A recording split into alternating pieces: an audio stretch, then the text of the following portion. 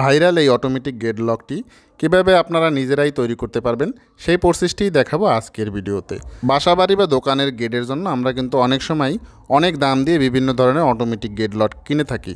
আমরা চাইলে কিন্তু এভাবে খুব সহজেই অটোমেটিক গেট লকগুলো তৈরি করে নিতে পারব।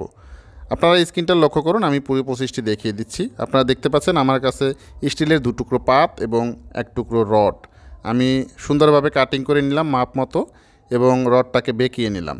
এরপর দেখুন আমি যে অংশটাকে কাট, কাটার জন্য রেডি করতেছি, দাগ দেওয়া অংশটুকু কেটে ফেলে দিতে হবে, এরপর গ্রাইন্ডিং মেশিন দিয়ে সুন্দরভাবে ঘষে পরিষ্কার করে নিতে হবে। এরপরে ছিদ্র করতে হবে ড্রিল মেশিন অথবা লেদে আপনারা ছিদ্র করবেন, এরপর রডটাকে সুন্দর মতো বসিয়ে দিয়ে ঝালাই করে আবার গ্রাইন্ডিং মেশিন দিয়ে ঘষে নেবেন। আবার ছোট্ট একটা পাত টুকরো নেবেন, যে টুকরাকে, টুকরাটার সাথে লকটা আটকাবে, যে হাতে যেটা দেখতে পাচ্ছেন একটা নাট ঢুকিয়ে দিয়ে আপনারা চাইলে এখানে রডও ইউজ করতে পারেন, এইভাবে বানিয়ে নেবেন।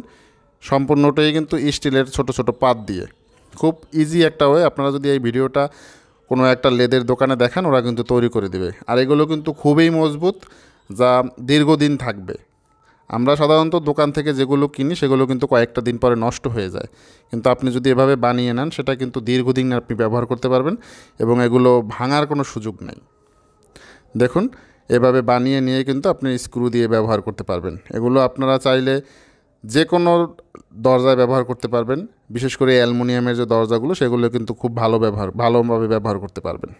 দেখুন, এরপরে আপনারা স্ক্রুগুলো এভাবে লাগিয়ে নেবেন। দেখুন, অসাধারণভাবে সেট হয়ে গেছে। আশা করি আপনাদের কাছে ভিডিওটি ভালো লাগছে। ভিডিওটি ভালো লাগলে অবশ্যই একটি লাইক দিয়ে চ্যানেলটি সাবস্ক্রাইব করে দিবেন।